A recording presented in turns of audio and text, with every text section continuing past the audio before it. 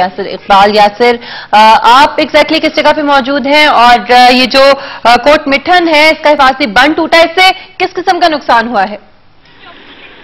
Mitchell, ये जो coat Mithan है यहाँ पे हिफाजती बंद था, जो कल से था, जो रात इसमें शगाफ पड़ा है, जिससे पानी शहर की तरफ़ दाखिल हुआ, लेकिन रात को तकरीबन तीन तीन बजे इंतजामिया की तरफ़ से कोशिश की गई, उस बंद को कंट्रोल कर लिया गया।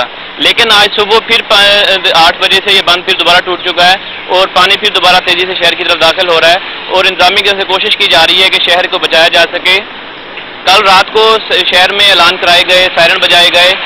तकरीबन आधे से ज़्यादा शहर जो है, शहर छोड़कर जा चुका है, शहर सुनसान है इस टाइम और लोग परेशानी की हालत में है सामान अपना निकाल रहे हैं जिनका निकल सकता है।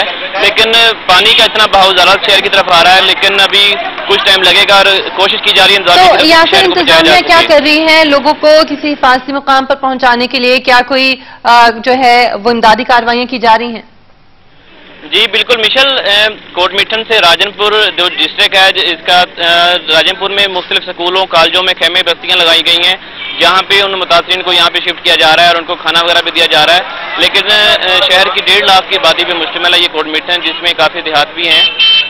लेकिन जिला में मिठनकोट के अलावा यासर ये बताएगा मिठनकोट के अलावा इसके जो करीबी और इलाके हैं कौन कौन से देहात हैं कौन कौन से इलाके हैं जो मुतासर हुए हैं?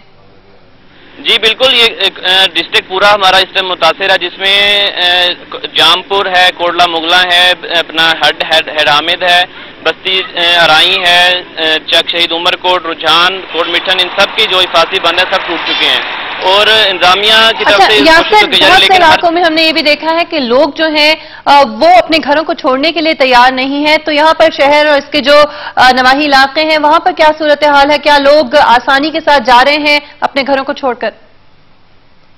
बहुत इंतजामिया की तरफ़ से दफ़ा एक भी लगाई गई। यहाँ पे लोगों को ऐलानात कराए गए। दो दिन पहले से भी खतरा है। अब जगह खाली कर दें और कुछ मकामत पर चले जाएँ।